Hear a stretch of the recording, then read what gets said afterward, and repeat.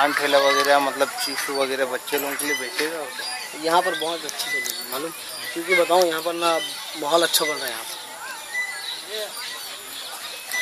पर। तो वहाँ के लिए भी बोला था वो वाले गार्डन के लिए। अच्छा वो? हाँ तो मैं जो भी अध्यक्ष है मैं बात कर लूँगा बोला तो मैं डायरेक्ट बोलता हूँ। हम्म।